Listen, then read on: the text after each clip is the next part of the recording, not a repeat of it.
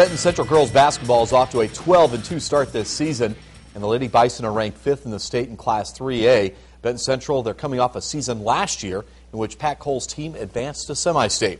Benton Central off to another strong start despite a major makeover in its roster with one prominent exception.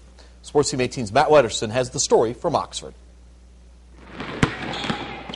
She's the only player returning from last year's semi state squad who played significant minutes.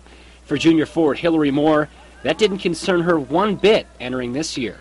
Most people would have nerves, but with the freshmen we have right now and the seniors who have played with the girls that we lost last year, I, it didn't bother me at all. Her presence inside changes what a lot of teams do, how they attack the basket, and you know, so that's that's been real, you know, big for us. For a team loaded with inexperience, it's also loaded with young talent. The team leader in points and rebounds is also the team's leader in leadership on a squad with freshmen playing primary roles. Freshmen get down on themselves really easily. Um, you just got to tell them to keep their heads up. This season's gone about as well as Moore and her Lady Bison teammates could imagine. They've lost only two games, and it came to a pair of 4A opponents. I mean, you got to have faith in your team, whichever way you go.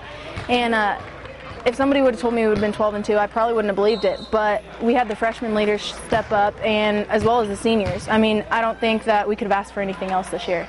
Of course, she hopes there's more good play to come this season. At BC, Matt Wetterston, Sports Team 18. Thank you, Matt. The latest Indiana Coaches of Girls Sports Association poll has Lafayette Jeff ranked at 17th in Class 4A, as we mentioned. The Lady Bison of Benton Central ranked 5th in Class 3A. Crawfordsville is ranked 10th in Class 3A, and the Stars of Western Boone are rated 13th. In Class A, the Tri County Cavaliers are ranked 14th. In the latest AP Boys Basketball poll, four area teams are ranked in Class A. The Red Ramblers of Attica are rated 10th. Tri Counties ranked 12th. The Knights of Central Catholic are in the number 14 position and the Frontier Falcons are rated 16th. And make sure to join us for the Friday Night Frenzy tomorrow night at 11 o'clock.